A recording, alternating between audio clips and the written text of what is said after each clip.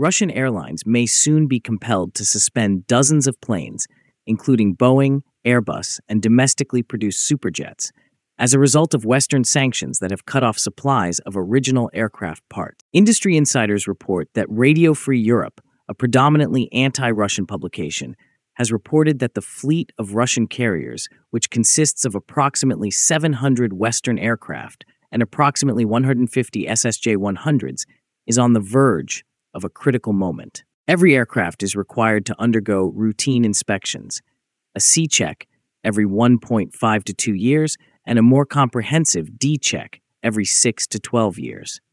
Nevertheless, these procedures are unattainable in the absence of direct involvement from the manufacturers, who have ceased to collaborate with Russian companies. The majority of aircraft in Russian corporate fleets will undergo their final flights legally in 2025, stated an aviation safety expert who requested anonymity due to the sensitive nature of the subject.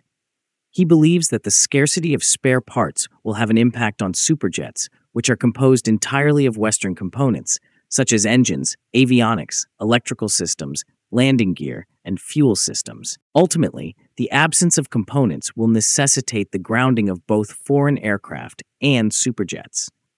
The expert cautioned that the superjets will only remain operational for an additional year. First, let us understand the aircraft maintenance in a bit more detail. The number of man hours necessary for aircraft maintenance is contingent upon the complexity of the aircraft, its type, and the specific maintenance task. For commercial aircraft, routine maintenance typically requires 12 to 20 man hours per flight hour, contingent upon the aircraft's complexity and size. For military aircraft, such as the C 17 Globemaster III, the requirement is approximately 20 man hours per flight hour as a result of its mission critical systems and complexity. The C check and D check are significantly more labor intensive than light maintenance inspections. Every 18 to 24 months, over a period of one to three weeks, a C check requires up to 6,000 man hours to complete.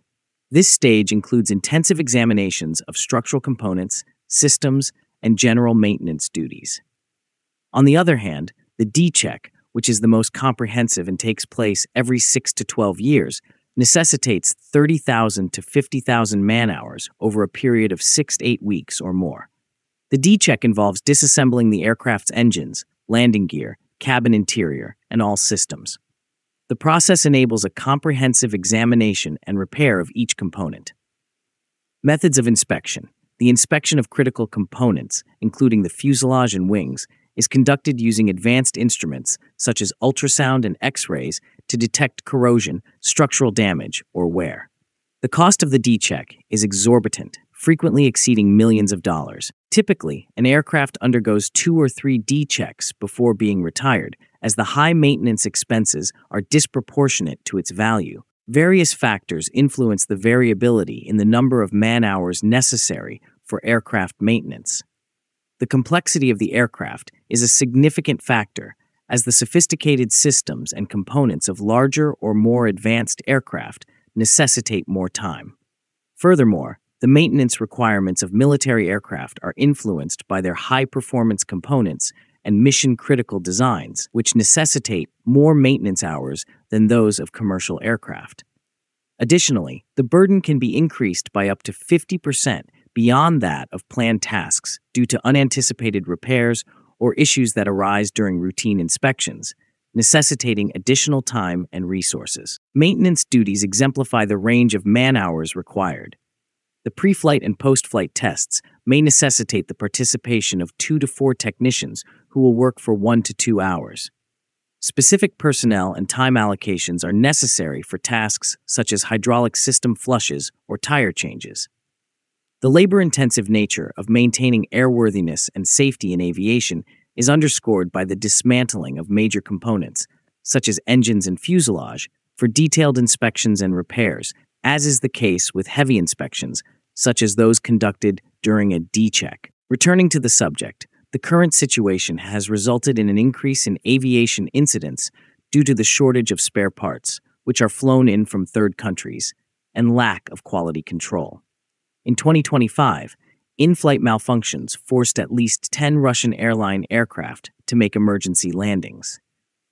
Engine failures occurred in 11 aircraft between December 1st and January 20th, including eight Boeing and Airbus aircraft and three superjets. Novaya Gazeta Europe recorded about 200 aviation incidents in the first 11 months of last year, which is a 25% increase from 2023.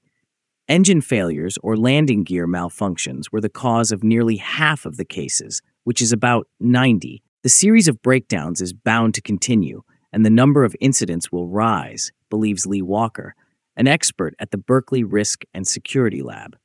She does not rule out that the scale of the problem is greater than reported. Western aircraft account for two thirds of Russia's civilian aviation fleet and 90% of passenger transport. Now, do you think there is any truth in these alarmist reports by anti Russian news outlets? Let us know in the comments. Please like and share our videos and subscribe to our channel. Please also take membership in our channel to encourage us.